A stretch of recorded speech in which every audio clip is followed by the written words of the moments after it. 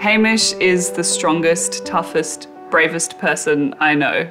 And if he can come out and cheer me in the stands, then I can swim 100 metres. It was incredibly special having Hamish come to the Commonwealth Games to know that he could be there and share that moment with you because in those moments you want your family around you and to have him there was incredibly special. Being a carer is incredibly important to me. Allowing Hamish to live his best life, allowing him to live a life of joy, allowing him to thrive is incredibly important because he's a person first and foremost and he deserves all the respect and all the dignity that you or I receive.